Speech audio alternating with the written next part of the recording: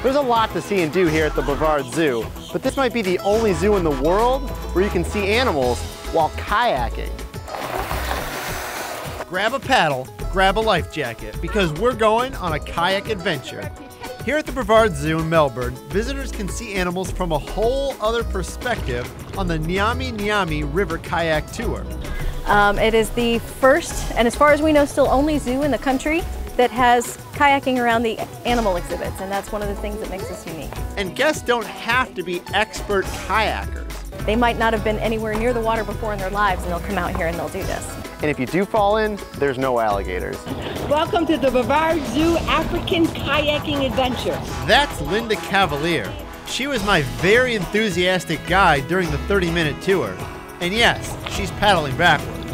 The tour goes through a section of the zoo that's home to cheetahs and lemurs, rhinos, zebras, and ostriches.